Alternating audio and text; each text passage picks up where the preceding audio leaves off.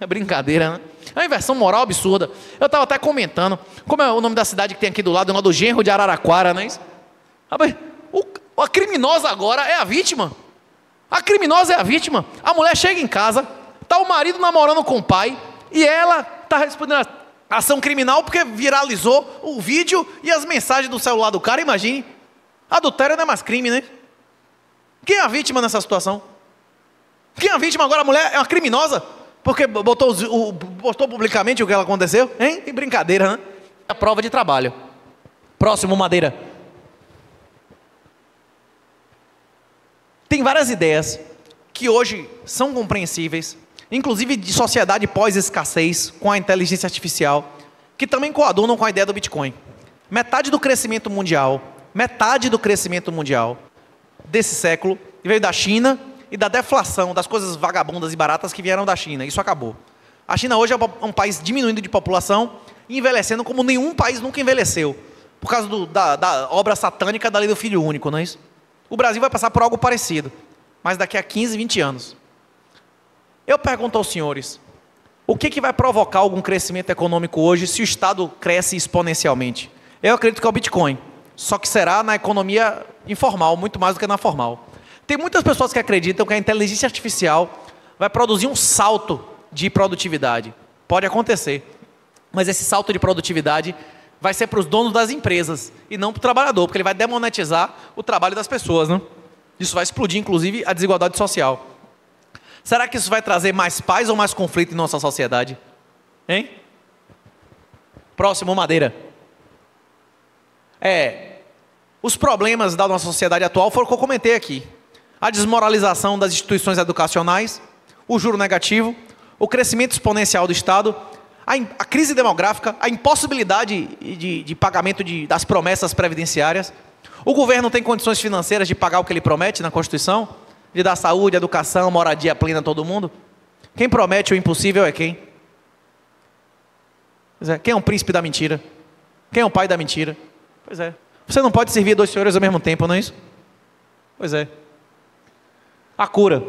O Bitcoin ele traz imunidade à apropriação, diluição e controle de capitais. Demonetiza instituições criminosas e corruptas. O renascimento moral, material e tecnológico.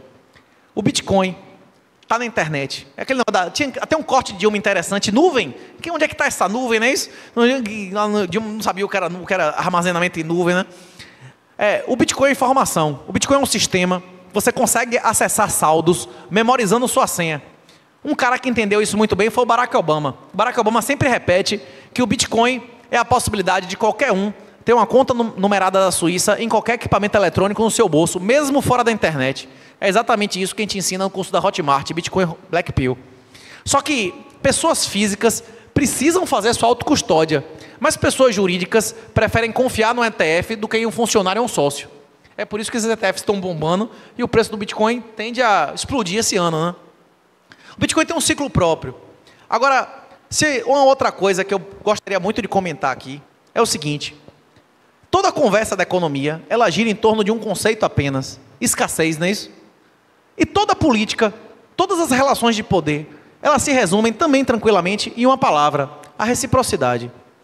Se você trata uma pessoa de uma maneira respeitosa e da maneira com que ela lhe trata, provavelmente você não escala conflitos que são custos, não é isso?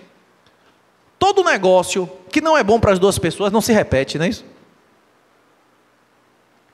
Todas as vezes que existe violência, violência, iniciação de violência contra as pessoas inocentes, há destruição de riqueza.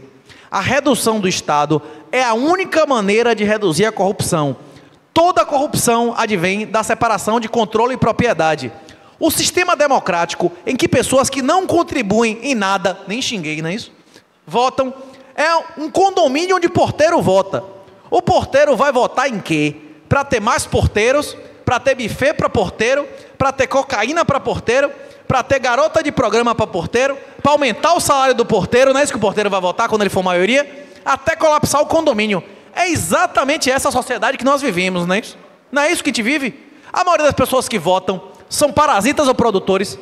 Eles contribuem ou recebem mais da, do, do, da nossa sociedade? Hein?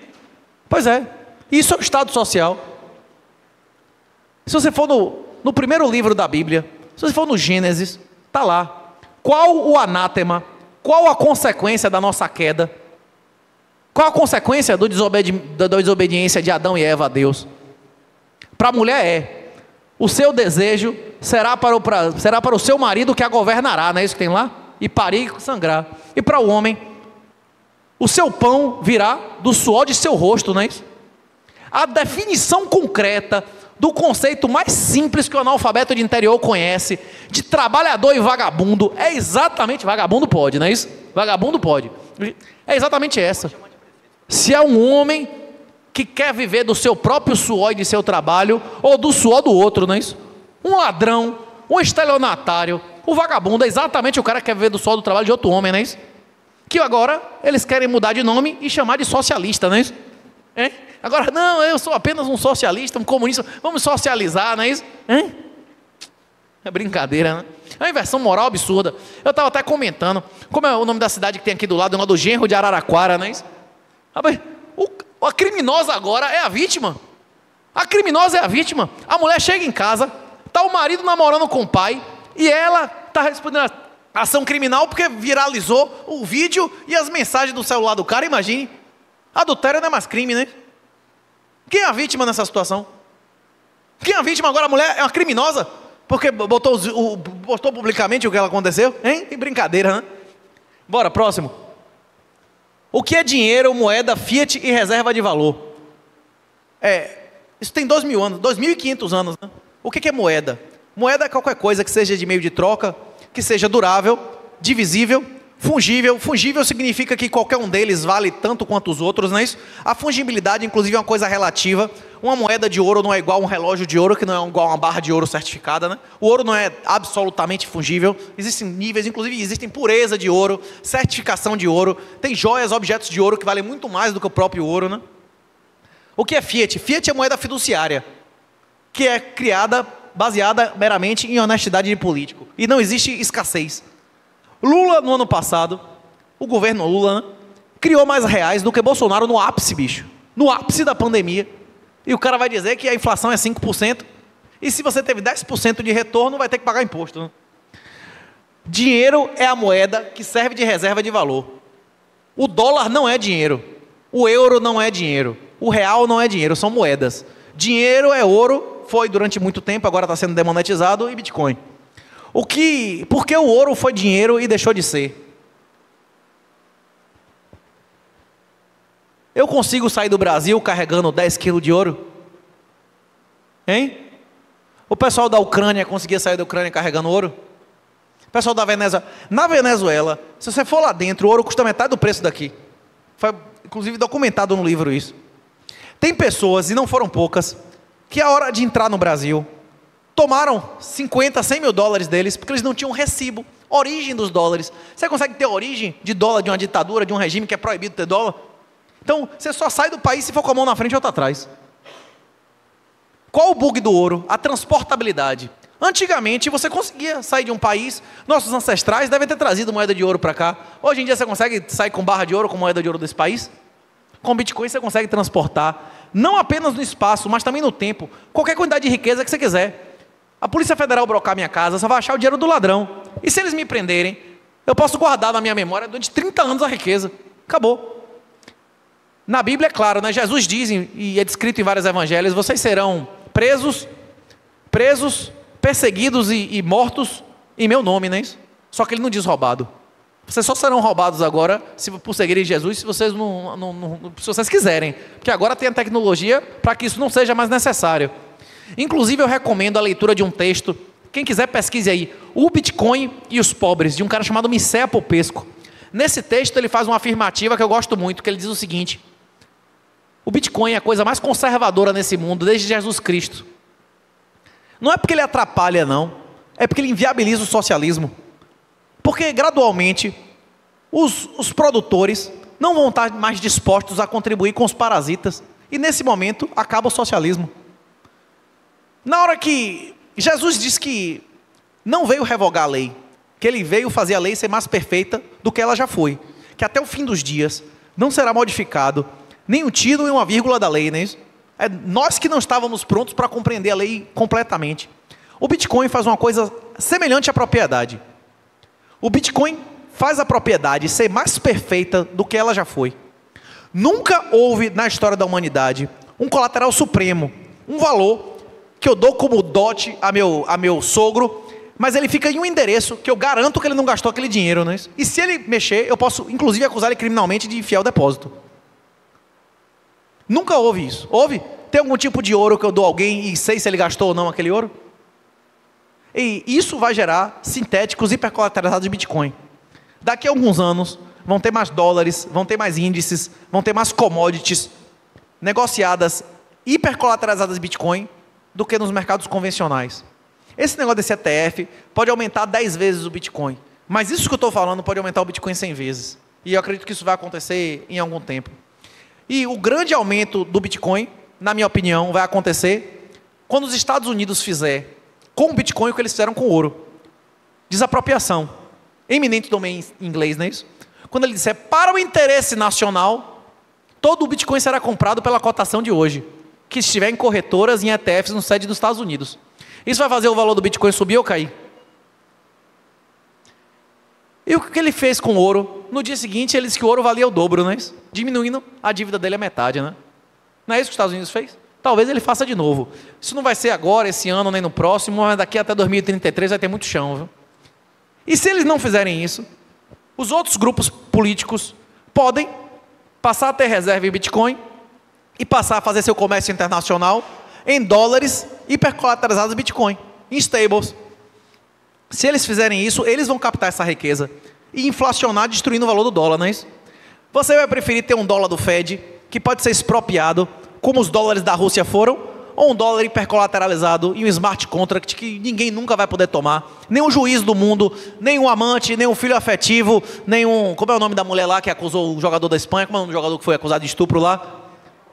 Rapaz, rapaz eu já vi, esse Daniel Alves deve ser bom de jiu-jitsu, esse deve ser o novo, novo Hélio Grace. Como é que você consegue estuprar uma mulher em sete minutos dentro do banheiro e não sair com um hematoma? Esse cara deve ser o maior lutador de jiu-jitsu que eu já vi, não é isso? Qual é. Opa! O abuso do poder o destrói. Se os estados honrassem o lastro do, do, das moedas estatais em, em ouro, nós não precisaríamos existir. O Bitcoin nunca existiria. O Bitcoin nunca existiria se os estados não fossem satânicos. Os estados são satânicos porque a ideia que os funda é a violência contra pessoas inocentes e a expressão disso são as moedas fiduciárias, que é a moeda da mentira, né? O juro é negativo. Senhoriagem, senhoriagem é a remuneração pelo monopólio de emissão da moeda. E a repressão financeira é o seguinte: os estados eles estão arrecadando mais ou menos. É, nominalmente mais, mas em termos reais, os estados já passaram da curva de Laffer. O aumento de alíquotas de tributos não aumentam sua arrecadação real, elas diminuem a atividade econômica. A erosão tributária o fato do Estado não ser mais capaz de arrecadar como ele arrecadava no passado é o, é o motivo à guerra ao dinheiro. Ao Estado precisar destruir a possibilidade de você fazer transações em, em moeda física para tirar a sua privacidade. Algumas pessoas dizem que, ah, mas o Bitcoin é rastreável. O Bitcoin é rastreável porque ele é pseudo-anônimo. Mas para associar você a um endereço, você tem que ser uma das partes do, do, da transação. E existem metodologia para você desanonimizar a sua transação. O dinheiro físico, ele é rastreável ou irrastreável? Ele é numerado ou não é numerado? Se eu anotei aquela numeração e dei o dinheiro a você, eu posso provar que eu lhe dei. Mas uma vez que você transacionou com terceiros, acabou, não é isso? Ele é totalmente fungível, né? Qual a solução a essas questões?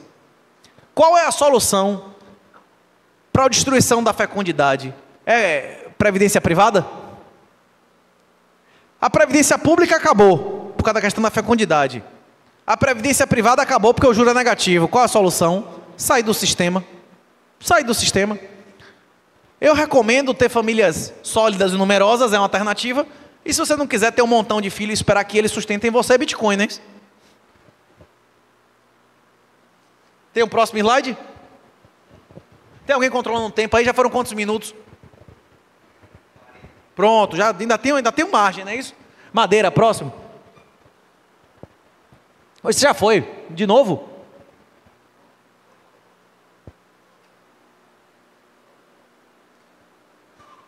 É, essas são, são algumas leituras que eu geralmente recomendo quando a gente tem esse tipo de conversa. Mas a maioria dos senhores, tipo assim, um terço do pessoal aqui diz que leu o livro, a maioria diz que já comprou Bitcoin em corretora. Então os senhores devem conhecer as 420 referências que tem no livro lá, né? vocês devem estar sabendo de cor tudo isso aí.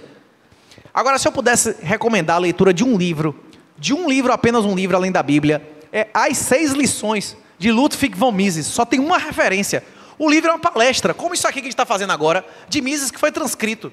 Mises define as, os seis conceitos que você precisa entender para entender que o Estado é satânico, você está sendo roubado e não existe juro positivo depois de 2008. E o primeiro desses conceitos, salvo engano, é inflação, não é isso? É um livro que qualquer um de vocês alfabetizado lê em duas horas, tem de graça o PDF na internet. Esse eu recomendo altamente. As seis lições. Ninguém deveria emitir nenhuma opinião sobre política pública sem ler esse livro primeiro.